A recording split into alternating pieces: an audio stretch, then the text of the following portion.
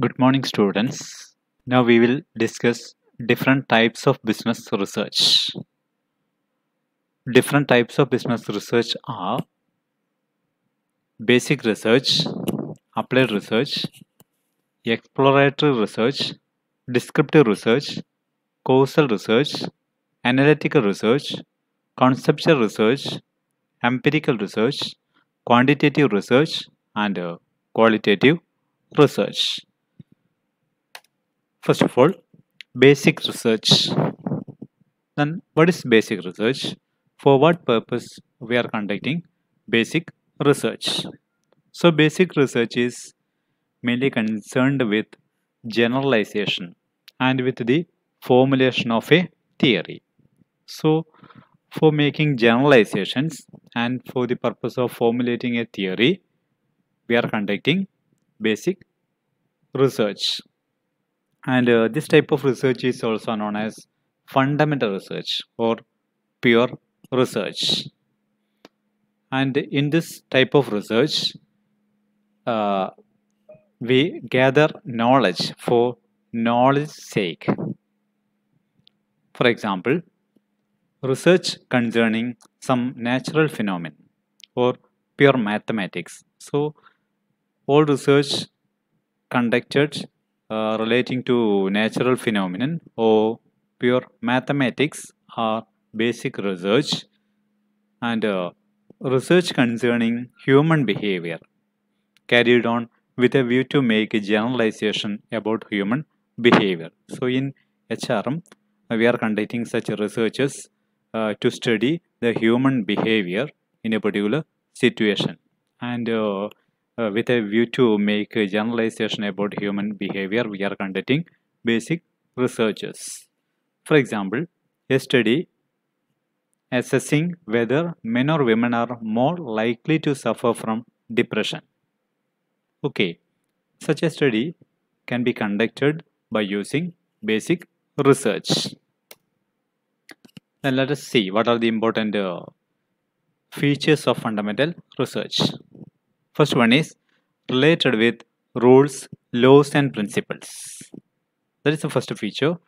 Such type of research is related with rules. Certain rules are there, certain laws are there, and certain principles are there. Then second one is it seeks to expand knowledge. What is the purpose of conducting basic research? It helps to expand the existing knowledge. Next one is it is theory based okay fundamental researches are based on theory. Next feature is gathering knowledge for the sake of knowledge. We are collecting knowledge gathering knowledge for the sake of knowledge. And next feature is it may not have any immediate commercial value. Okay such researches are not conducted to solve an immediate problem faced by an organization. And uh, Next feature is it lays the foundation for applied research.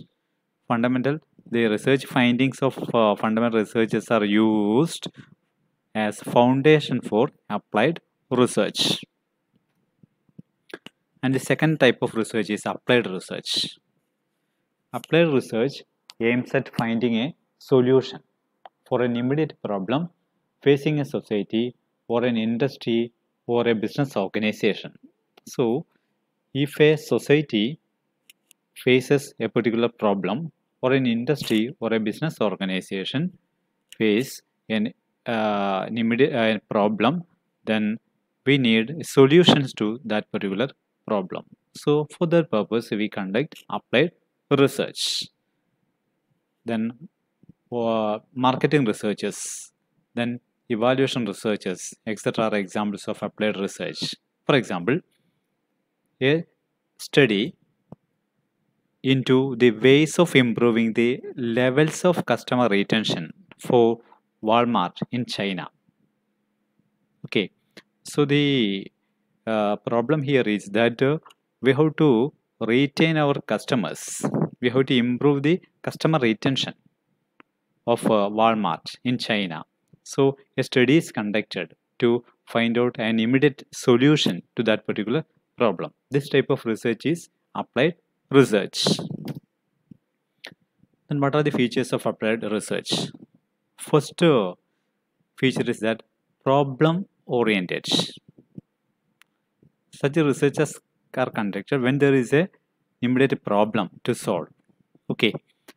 Second feature is that application of theories or construction of models to find out solutions to the problems faced by the society. We are using some theories or we are constructing some models to find out solutions to the problems faced by the society or business. Then next one is it has practical importance. Then next feature is driven by clear-cut aims. And next feature it integrates previous theories. And the next feature is that the time and cost required for this type of research are well planned. We will plan the time as well as the cost required for conducting such a research in advance. Then we have studied two types of research, basic research and applied research. Now we are going to discuss the important differences between basic research and applied research. First one, basic research is concerned with building theories. At the same time, applied research is concerned with testing theories. Testing theories. Second difference is basic research scope is wide, as it deals with any problem. We can deal with any problem using basic research. But the scope of uh, applied research is narrow because it studies the problems with immediate social consequence. Then next difference is that it tries to explain why things happen. That is, uh, uh, basic research tries to explain why things happen so. Okay, at the same time, applied research tries to explain how things can be changed. We are trying to find out solutions to the problems. Okay, the next difference is that uh, uh, basic research is realized in the long run. At the same time, applied research is realized in the short run. And next difference is that for basic research, we can uh, decide in advance the time and cost uh, required for the completion of the research. But in the case of applied research, the time and uh, cost required for completion of the project are decided in advance. Next type of research is exploratory research. What is exploratory research? It's a preliminary study of a new problem about which the researcher has little or no knowledge. The researcher has no knowledge about a particular problem. So, in order to get some data relating to that particular problem, we are conducting a preliminary study. Such a research conducted to get some idea about a particular problem. That is what is called exploratory research.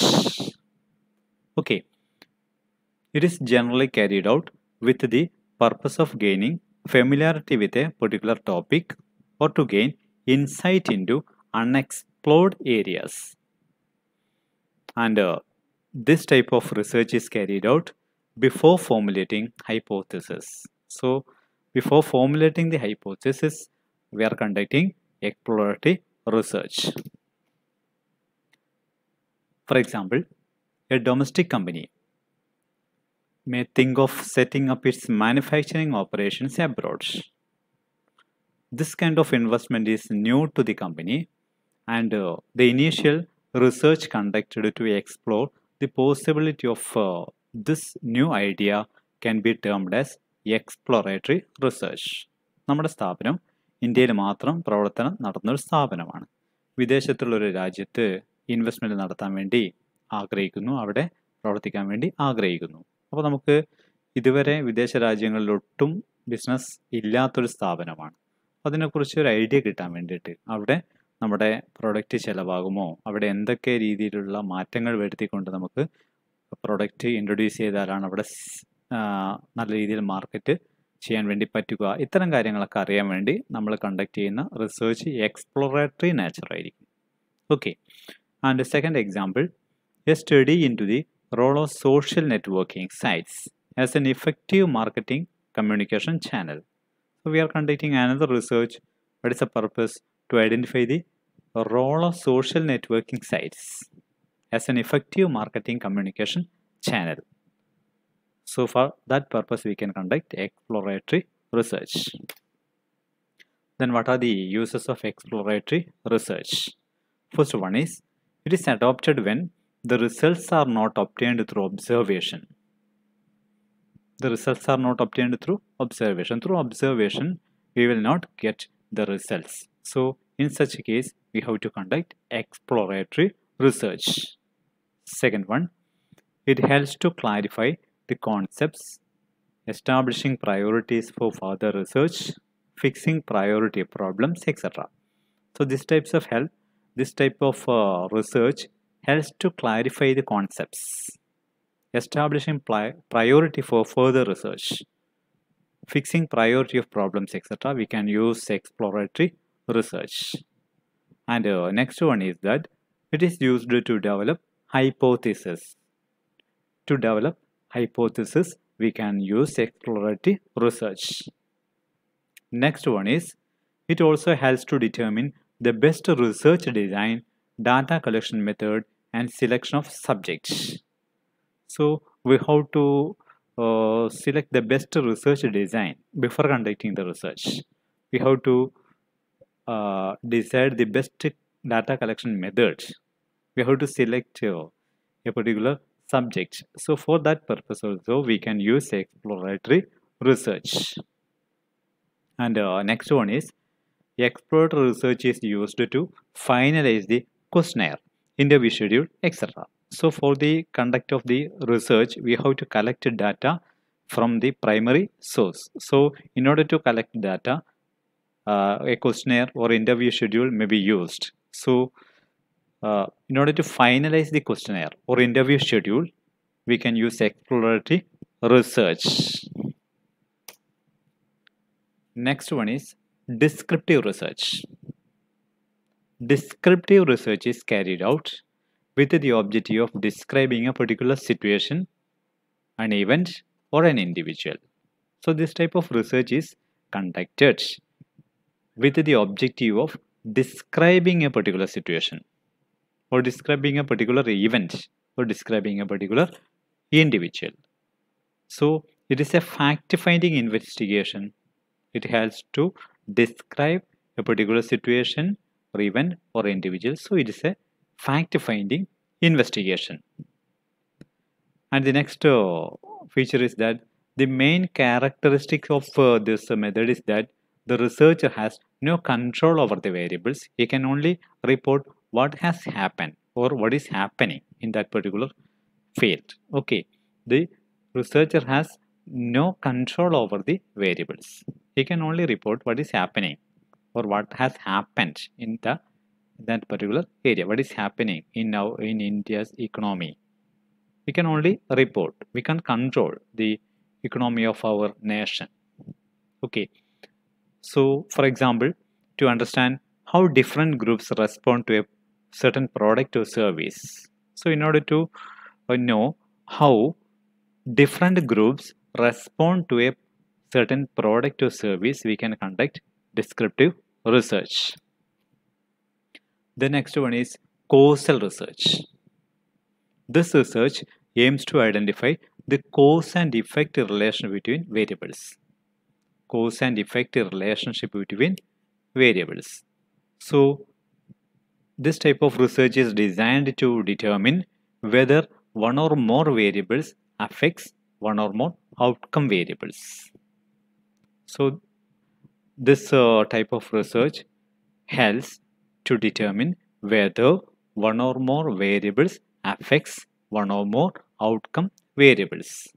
To determine causality, it is important to observe variation in the variable assumed to cause the change in other variable and then measure the changes in the other variable. So in order to determine the causality, uh, we have to observe the variation in the variable assumed to cause the changes in other variables and then measure the changes in the other variables. Okay. The next uh, type of research is analytical research. Under this method, the researcher uses facts or information already available and uh, analyze them. In analytical research, the researcher uses the facts or information already available and uh, the researcher just uh, analyze the information available with him. It involves critical thinking and the evaluation of facts and information related to the research being conducted. Critical thinking and evaluation of the facts already obtained uh, by the researcher.